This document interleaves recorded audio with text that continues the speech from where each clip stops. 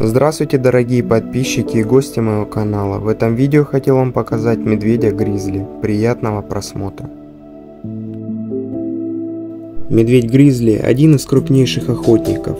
Его вес может достигать до 600 килограмм. А если гризли встает на задние лапы, то высота его превышает 3 метра. Когти взрослых гризли могут достигать до 15 сантиметров, а клыки до 7, что делает его очень хорошим охотником. Скорость медведя гризли может достигать до 60 км в час, что делает его одним из самых быстрых медведей в мире. Сам медведь всеядный, может употреблять как растительную, так и животную пищу но больше всего предпочитает растительную. Питаться клубнями, корнями, ягодами иногда бывает эффективнее, чем выслеживать животных.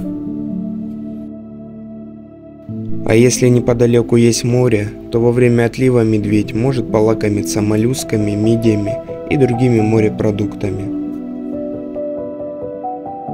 Обоняние у медведя-гризли в две с половиной тысячи раз острее, чем у человека, и в 20 раз, чем у собаки.